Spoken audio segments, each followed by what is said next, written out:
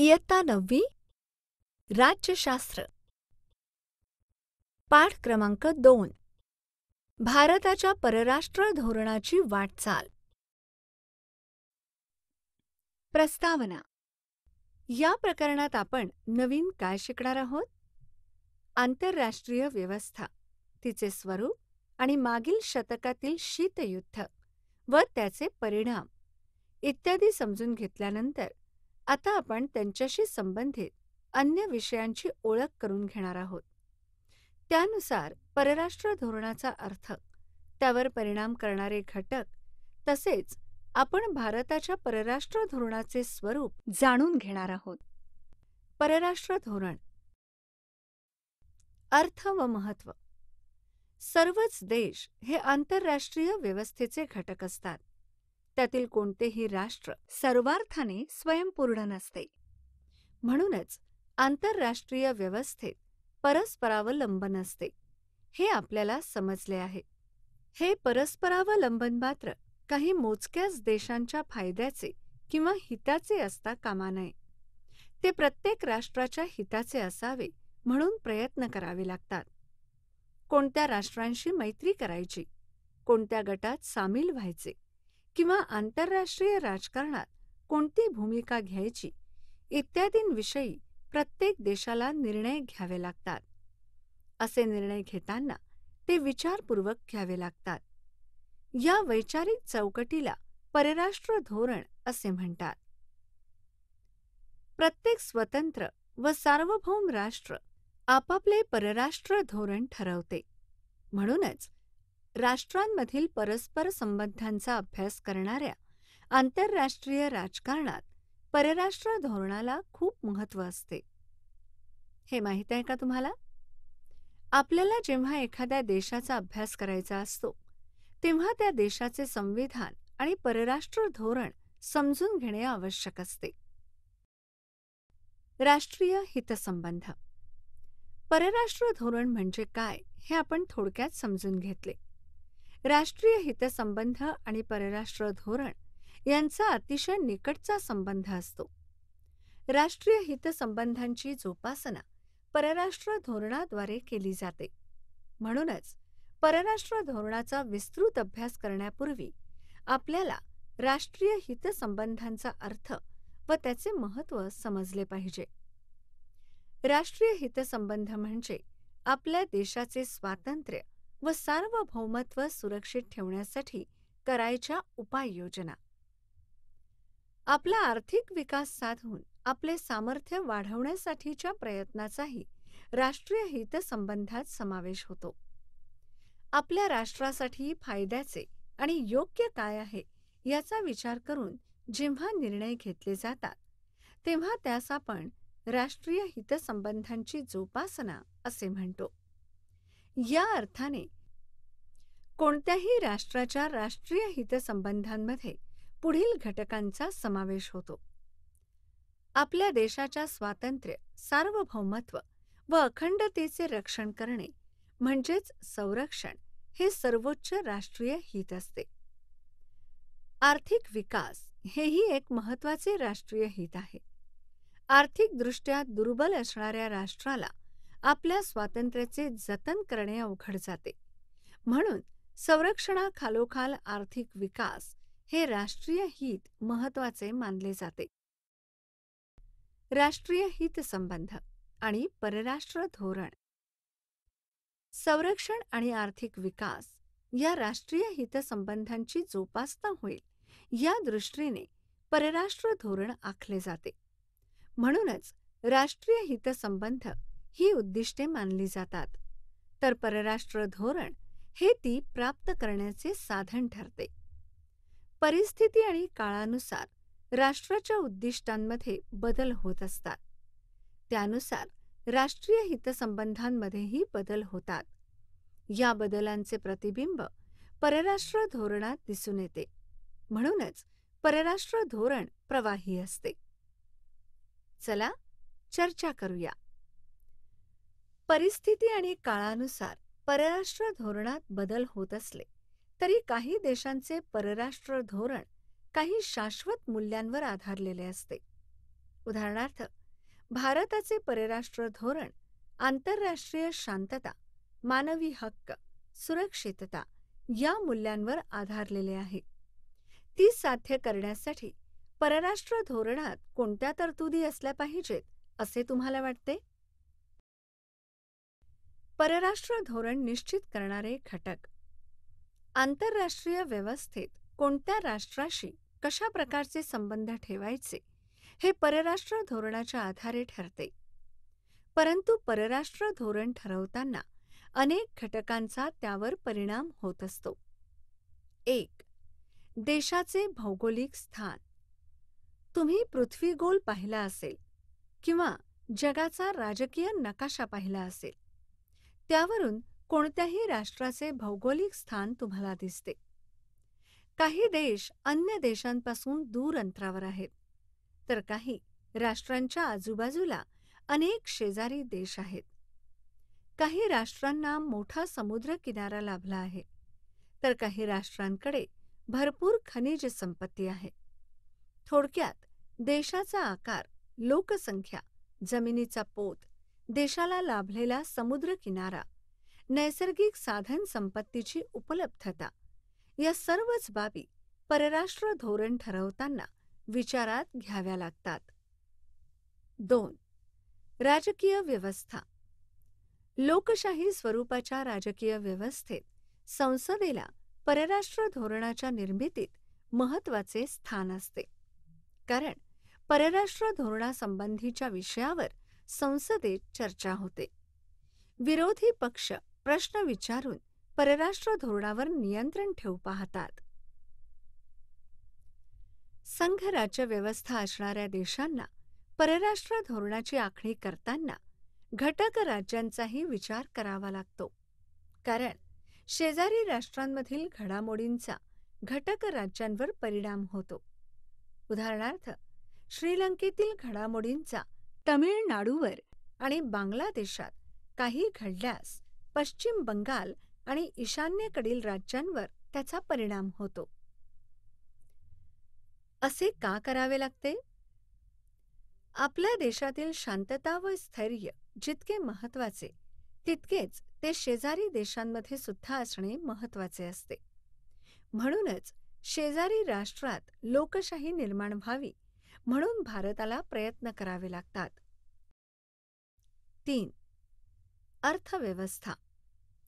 आधुनिक काळात कोणत्याही देशाच्या आर्थिक स्थितीला परराष्ट्र धोरण ठरवण्यात फार महत्त्व प्राप्त झाले आहे.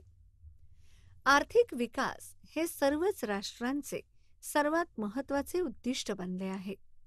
त्यामुळे अर्थव्यवस्थेचा परराष्ट्र धोरणावर दोन प्रकारे परिणाम होतो. एक. देशाची अर्थव्यवस्था मजबूत करण्यासाठी अन्य राष्ट्रांशी प्रस्थापित करायचे आर्थिक संबंध.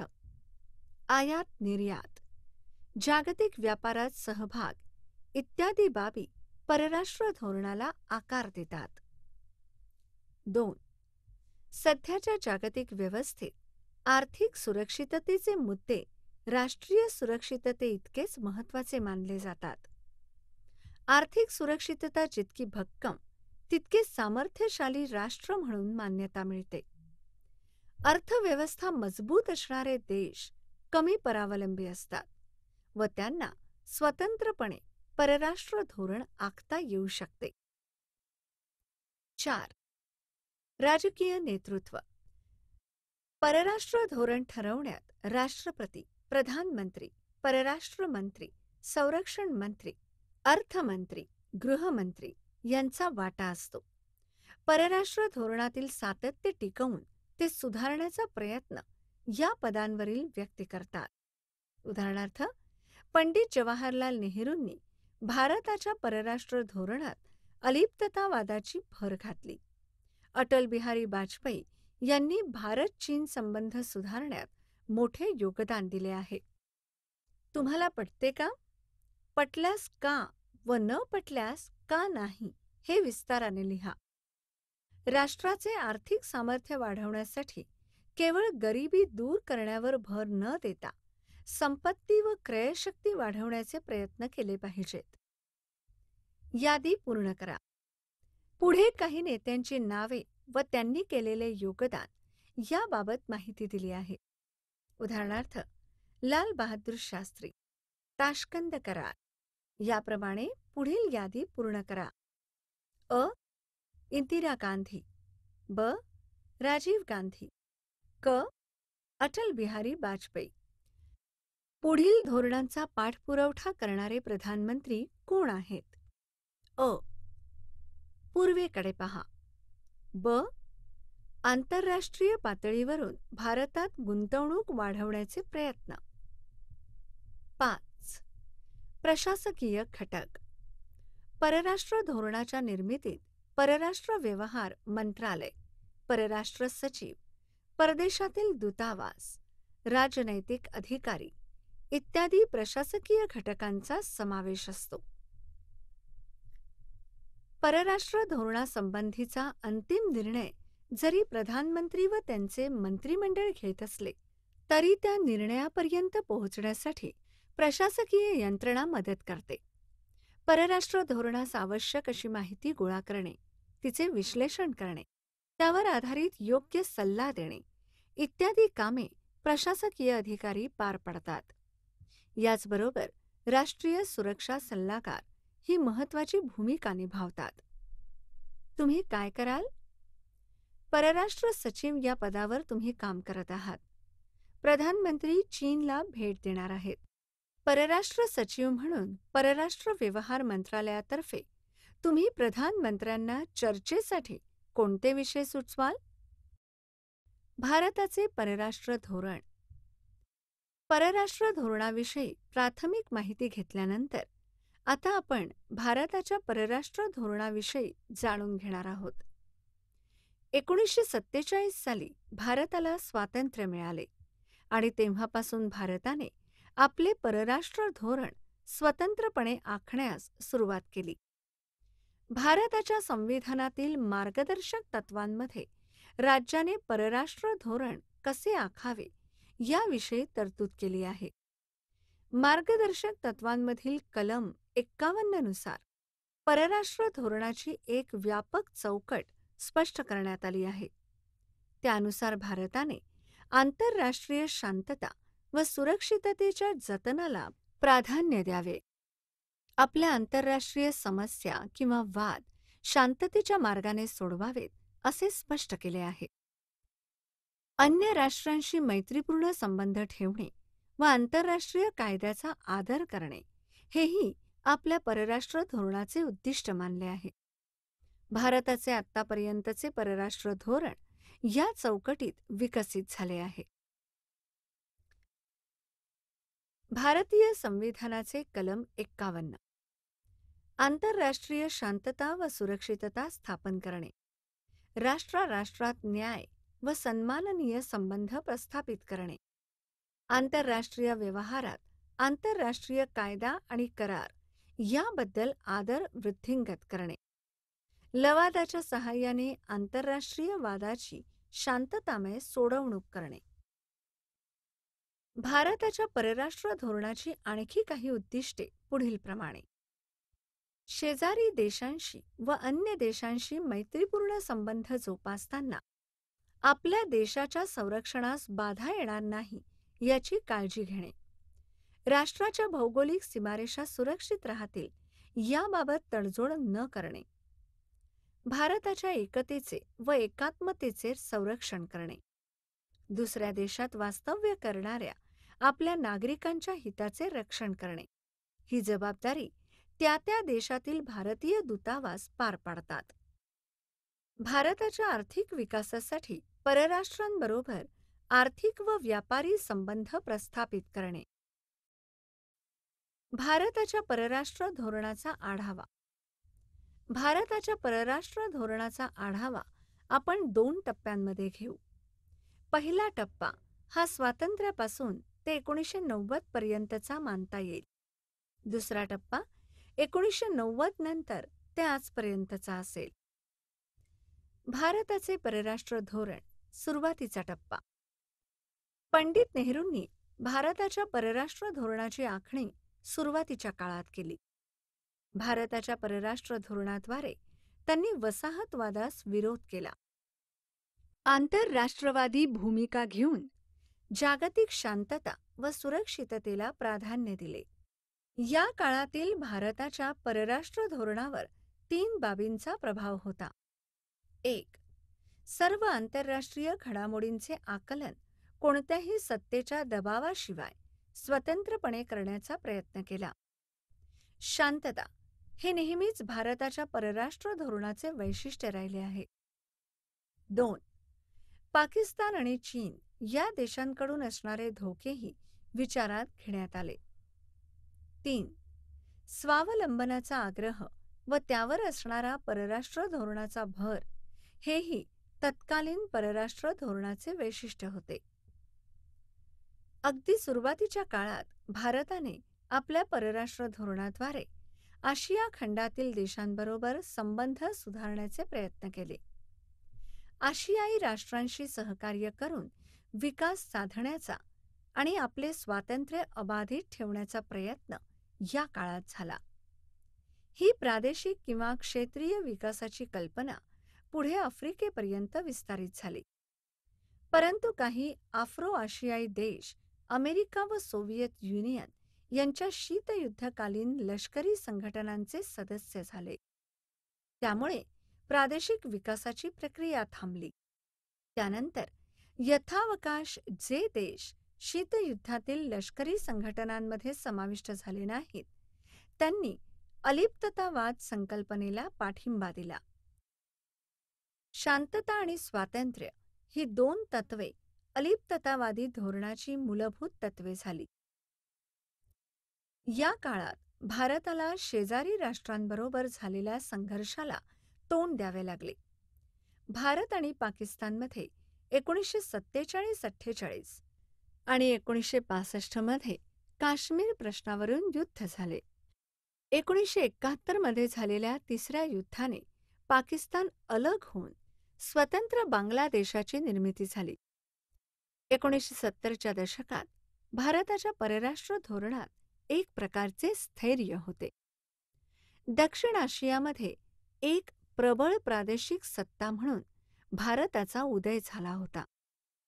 एकोणीसशे चौऱ्याहत्तरमध्ये भारताने अणु चाचणी करून अणु संशोधनाच्या क्षेत्रातील आपली क्षमता सिद्ध केली. एकोणीसशे ऐंशी पासून मात्र काही बदलांना सुरुवात झाली.